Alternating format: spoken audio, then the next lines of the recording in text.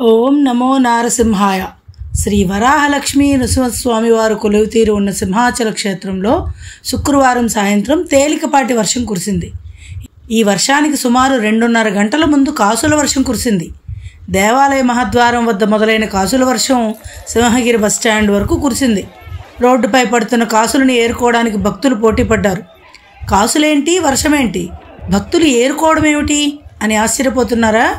వివరాల్లోకి వెళితే ఒడిశా రాష్ట్రం బరంపురానికి చెందిన లక్ష్మీకాంత్ నాయక్ దాసుడు బాబు అంటారు ఈయన్ని. మూడు నెలల పాటు సింహగిరిపైనే ఉండి సింహాచలేసిన సేవల్లో తరించారు. బుట్టలతో పలపుష్పాలు బిందెలతో పంచామృతాలు ప్రతిరోజు తీసుకువెళ్ళి సింహాద్రినాథుడికి నివేదించారు. పర్వదినాలలో స్వామివారికి విశేష పూజలు ఆర్జిత సేవలు చేయించారు. దేవాలయ పరివారానికి వస్త్రాలు భోజనాలు పెట్టించారు.